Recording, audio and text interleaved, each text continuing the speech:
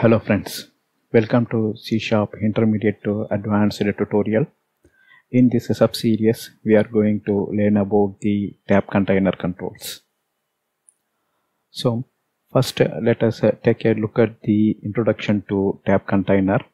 Then in the coming videos, you will learn about the example. So this is the example we will create.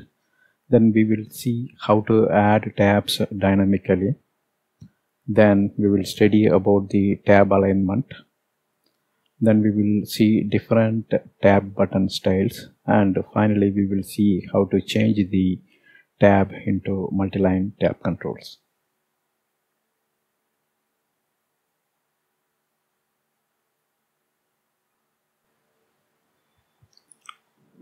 So let's say that we have a dialog box and it contains a lot of other let's say we have a dialog box and it contains a lot of controls at uh, different uh, locations. So is there a way to organize these controls?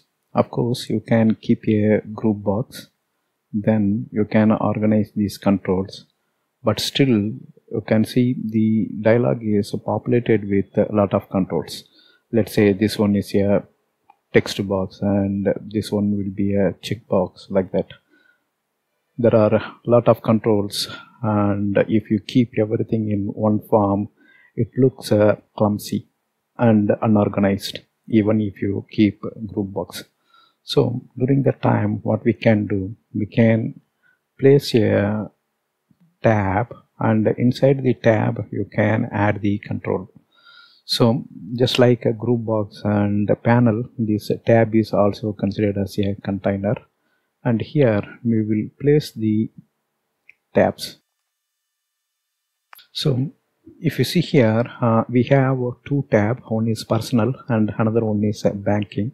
So once user clicks the personal then information related to personal page will get displayed let's say this is the personal and these are all the controls for the banking. So they may have different set of controls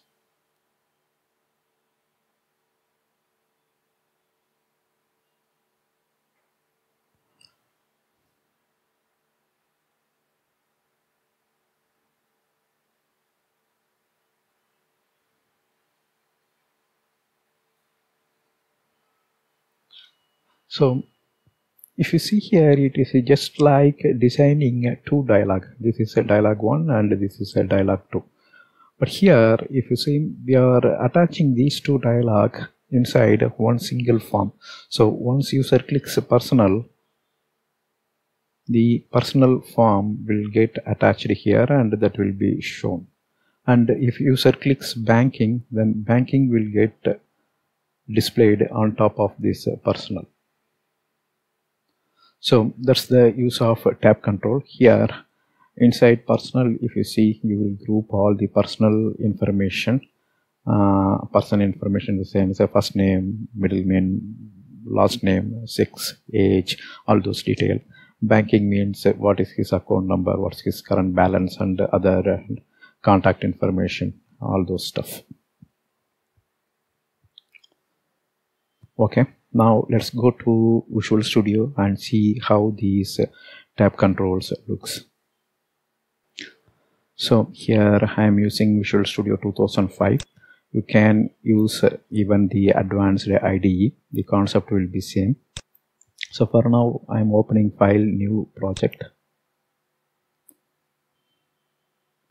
And I am choosing Windows application, Visual CH, Windows, Windows application so that's the name I'm giving here.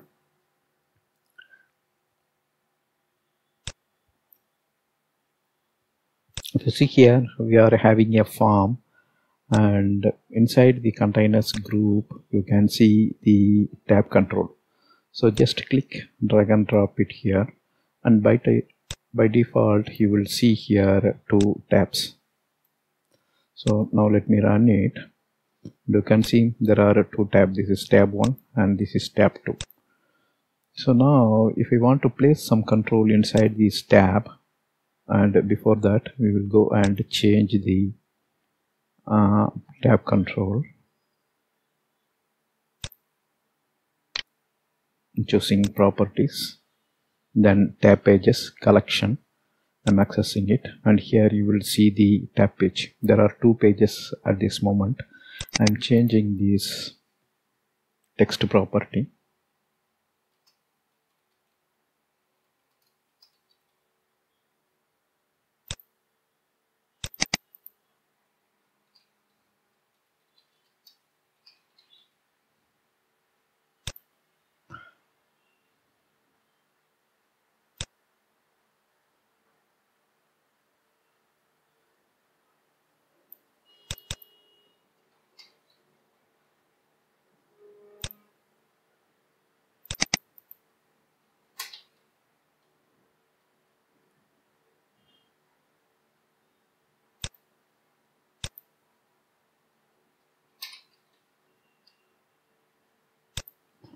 so that's all. Now we changed the name. We also changed the uh, text property. So if you see text is first page. And here you are seeing first page and second page. So at the same time we changed the tab names. And if you want to add a new tab click on add tab button. And this will change the I mean add a new tab. And as usual you can right click here choose property and go to collection and change the third one. So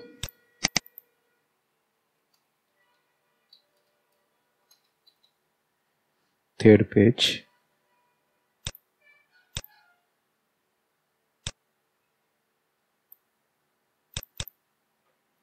Name I am changing it as page 3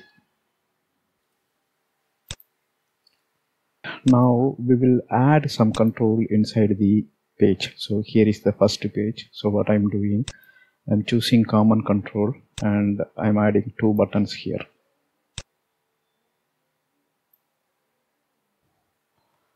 There are two buttons in first page. Now i am clicking the second page.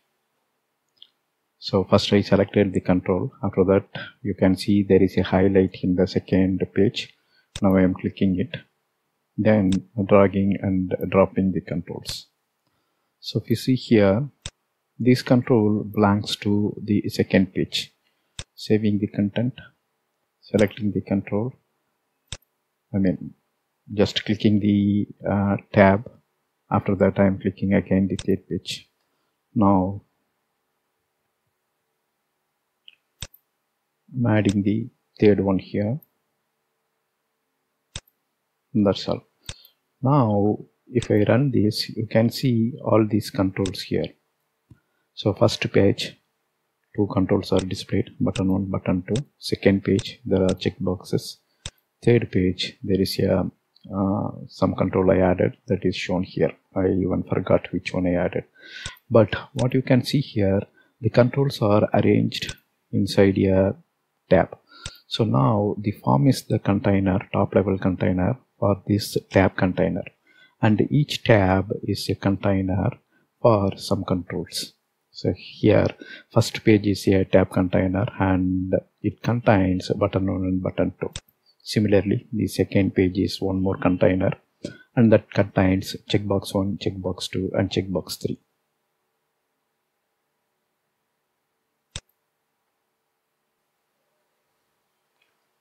all right. So this is the design time design time stuff for the tab container control. In the coming videos we will see uh, how to use this tab control at runtime to add new pages and to change orientation and other stuff we will study with uh, the next coming examples. That's all here in this video. Thank you for watching. Bye